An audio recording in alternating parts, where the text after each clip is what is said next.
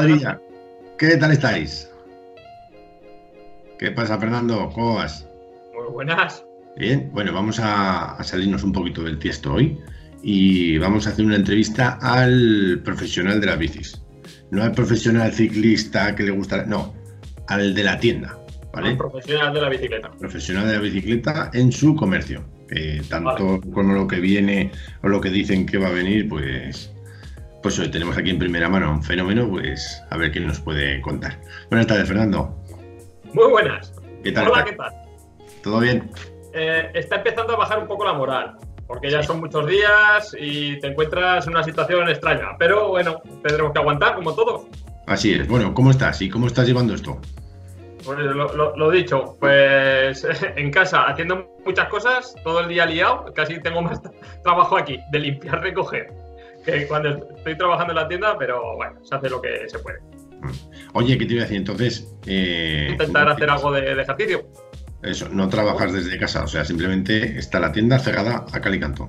Claro, no, no nos dejan abrir. A ver, yo podría ir a trabajar, pero ahí dentro la gente no puede venir a traerme las bicicletas y tampoco se pueden salir a entrenar ni se puede salir a nada. Entonces, es una situación, pues, pues bueno, Complicada. un po- un poco extraña. Sí, la tienda está cerrada.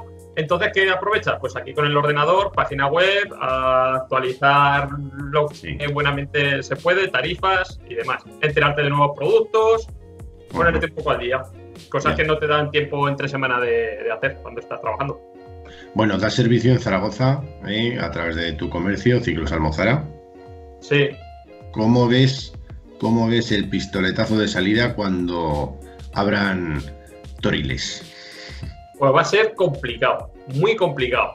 Sí. Lo primero, la gente con toda esta situación, mm, hay gente que han- les han hecho los ERTES, hay gente que se ha quedado en el paro, otros que les han visto las orejas al lobo y entonces van a decir, me estoy quieto, no me gasto ni una para por si acaso, por lo que venga.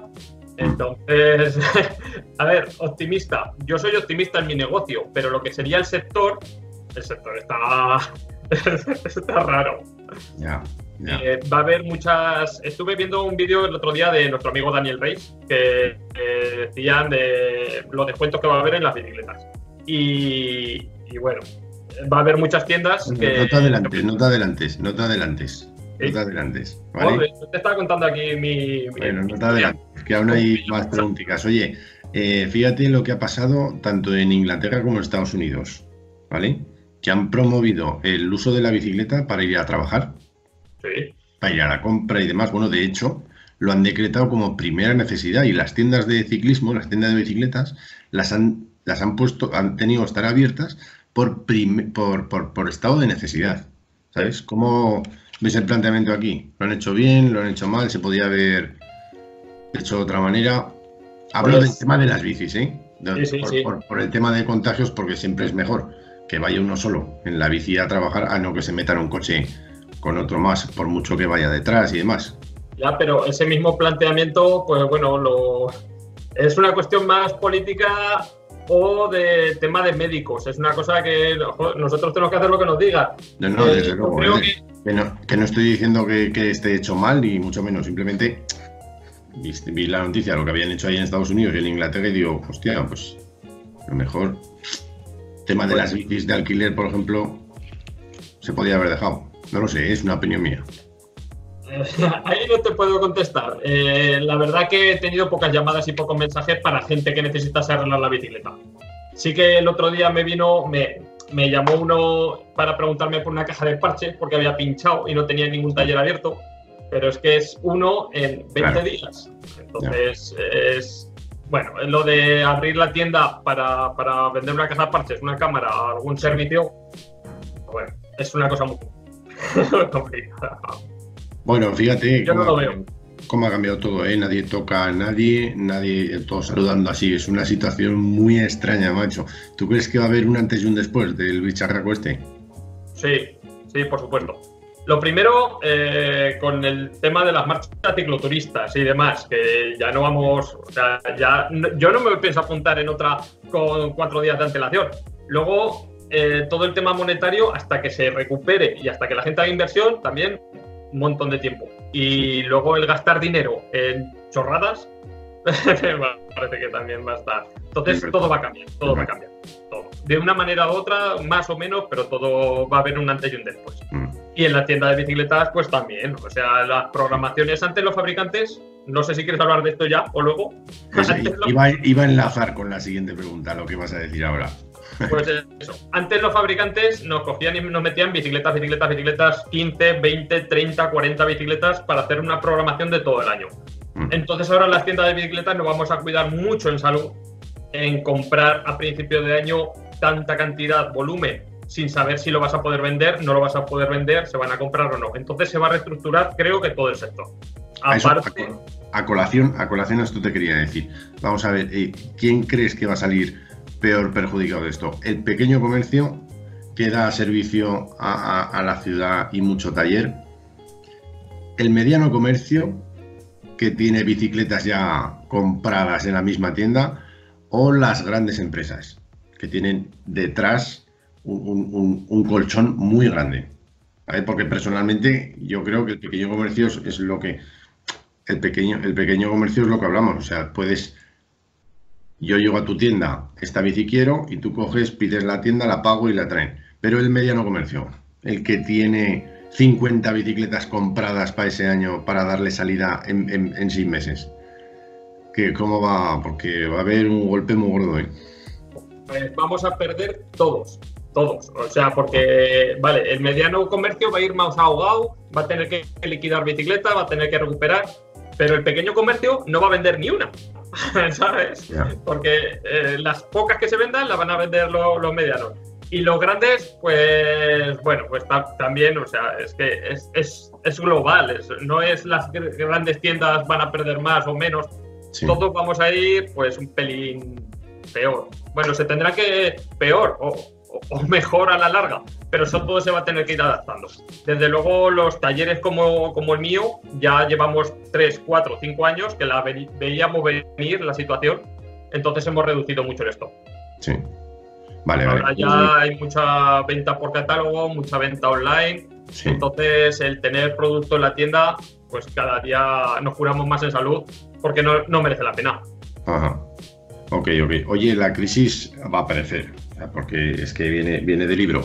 Viene de libro a golpear duro. ¿Tienes pensado alguna medida para capearla o algún plan o sobre la marcha? Eh, tengo pensadas cosas, tengo pensadas cosas, pero en estos momentos no las puedo implementar. Ya sabes que en nuestra tienda estamos de, transformación, entonces estamos en una época que, que, bueno, estamos parados en stand-by haciendo la mecánica y de aquí a seis meses un año, Dios dirá. Entonces sí que tengo ideas, sí que tengo planes, tengo muchas ganas, tengo ganas de hacer cosas. Sí. Pero eh, poco a poco, el tiempo. Oye, que al final la QH ha, ha regulado. Eso es que ha visto tu vídeo. El señor Roberto Iglesias ha visto tu vídeo. Y el soplado. Y el soplado. El soplado. Yo no contaba con el soplado que fueran a devolver al final el dinero. Bueno. oye, al final, al final han puesto los pies en el suelo. Lo tenían que devolver sí o sí. O sea, porque si no se, nos íbamos a tirar todos a, demandas, a demandas judiciales y, reclamaciones. Eh, yo esta misma mañana he contestado lo de la quebrantahuesos y he dicho que me devolverá el dinero. porque ya solamente el hecho de coger y quererte robar, hmm. ya es... yo, yo en mi tienda, si pido señal por una bicicleta que al final la bicicleta no viene, yo la señal la devuelvo. No digo, no, es que como me la habías pedido, me la quedo. No te vas a quedar las. Así y, sobre todo, pues eso, a un año vista. A un año vista. Y es dinero, pues para que lo te, para que lo tengas tú, lo tengo yo. Y el año que viene a probar de suerte. Y si me cogen bien y si no, pues hasta luego, Mari Carmen. ¿Sabes? Hasta, luego, Mari Carmen, yo casi para todas. Veamos que yo lo que te dije, ahí sigo muy claro que marchas con seis meses de antelación y una más. Pues esos son el tipo de cosas que van a cambiar en, el sector ciclista, en este mundillo. Sí. Yo creo que lo importante, yo creo que se ha hablado. ¿eh? Simplemente desde aquí desearte mucha suerte por el servicio que das, que me consta que es muy bueno. y eh, muchísima suerte. mejorará, poco a poco, poco a poco mejorará. lo que, lo dicho, estamos en, en época de transformación. Ha sido para nosotros un cambio muy grande de hacer programaciones de bicicletas a de repente no hacer programaciones, hemos hecho la remodelación a la tienda, al taller, y aún tenemos que hacer más cosas, pero aún no es el momento. Claro. Eh, eso de que decías tú, Casti, el otro día en el vídeo que sobraban el 30% de las tiendas de bicicletas. Sí, eso, sí. ¿Tú cómo lo ves? ¿Tú qué crees? ¿Qué, qué creo yo? Pues que la mediana. Como, como usuario, desde fuera. Desde usuario, pues hombre, que las grandes empresas han ganado mucho dinero.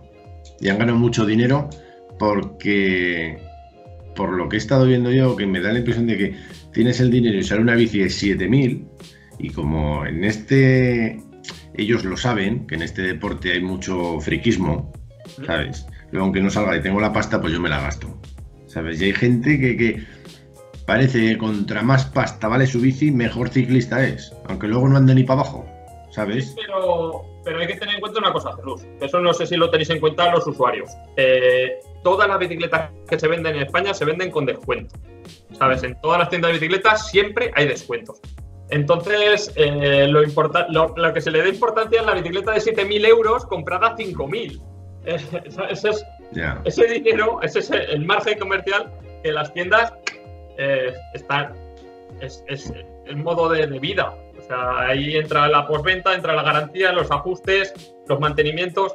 Entonces, eh, eso de que han ganado mucho dinero, ha habido épocas en las que se ha ganado mucho dinero en el mucho dinero, como en todo, pero como, como, como en todo, como en los pisos y como, como en. Exact- exactamente. Pero tenido que ver la cantidad de proliferación de tiendas de bicis que hubo. Por ejemplo, aquí en Zaragoza hubo un mogollón de tiendas que abrieron. Y conforme abrieron, se fueron. eh, eso es porque los márgenes comerciales no eran del todo suficientes. No han ganado tanto dinero ni se podía ganar tanto dinero como.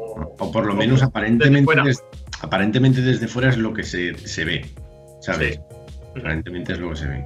Pues te digo, eh, lo que serían las tiendas es el sector más débil. O sea, los que pueden ganar o han ganado son distribuidoras y fabricantes. Eso sí que tienen el mercado más atado y sin embargo las tiendas, pues vamos todos así, pegándonos unos con los otros con el internet y con... Entonces somos el eslabón más débil, los que menos hemos ganado.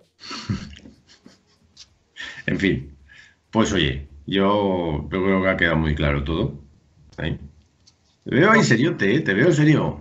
No me queda claro, es que ahora me he formalizado. Ahora ya Sí. voy a ser una persona más seria.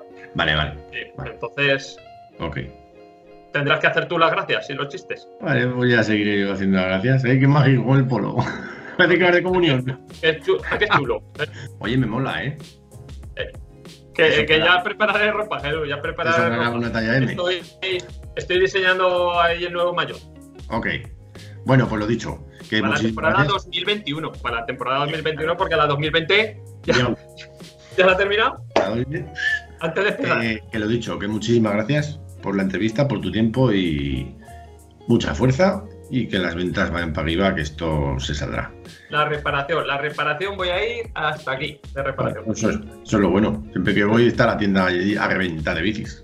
Ya está. Es que lo haces bien, claro. Ver si.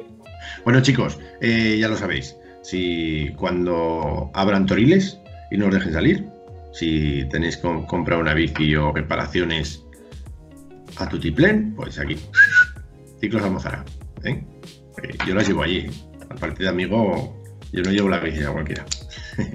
bueno, cuidaros mucho y un besico. Venga, Chao.